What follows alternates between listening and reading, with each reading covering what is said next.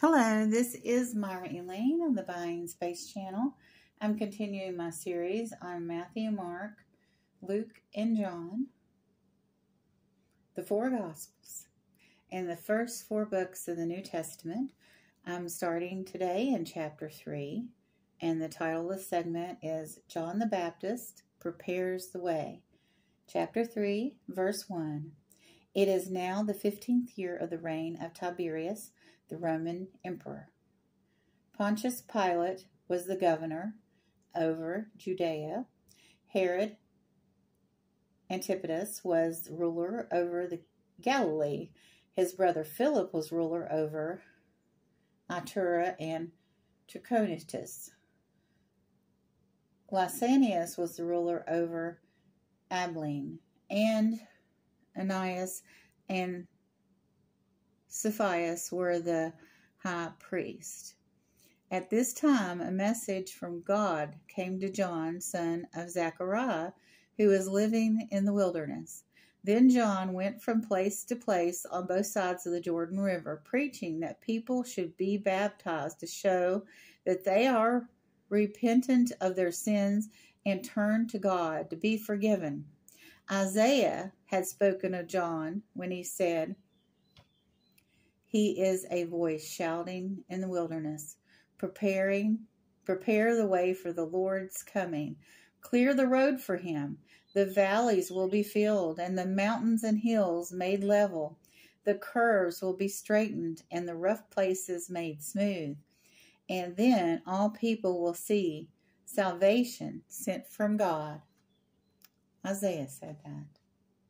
When the crowds came to John for baptism, he said, you brood of snakes, you war who warned you to flee the coming wrath? Prove by the way that you live that you have repented of your sins and turned to God. Don't just say to each other, We're safe, for we are descendants of Abraham. That means nothing, for I tell you, God can create children of Abraham from these very stones. Now, even now, the axe of God's judgment is poised ready to serve the roots of the trees. Sever, sever the roots of the trees. Yes, every tree that does not produce good fruit will be chopped down and thrown into the fire. The crowds asked, What should we do? John replied, If you have two shirts, give one to the poor. If you have food, Share it with those who are hungry. Even corrupt tax collectors come to be baptized and ask, Teacher, what shall we do? He replies, Collect no more taxes than the government requires. What should we do? asked some soldiers. John replied, Don't extort, extort money or make false accusations, and be content with your pay. Everyone was expecting the Messiah to come soon, and they were eager to know whether John might be the Messiah.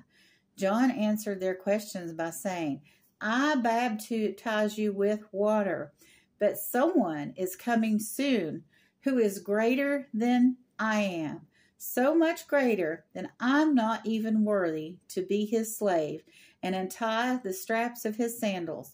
He will baptize you with the Holy Spirit and with fire.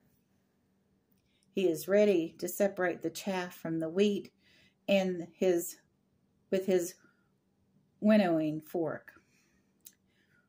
Then he will clean up on the thrashing area, gathering the wheat into his barn, but burning the chaff with never ending fire. John used many such warnings as he announced the good news to the people.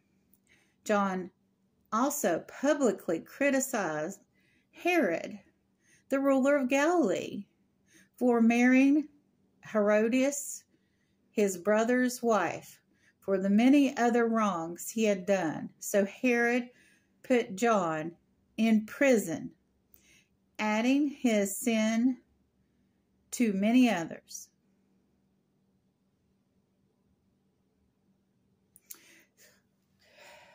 So here John is put in jail for speaking the truth. From what I understand, Herod's wife's husband died under suspicious circumstances. It's like the king sending the uh, beautiful wife's husband off to war and putting him in the front line where he surely will die. There are ways in our modern society to put people in harm's way where they're likely to perish or be destroyed in some other way. And I think we've all seen examples of this.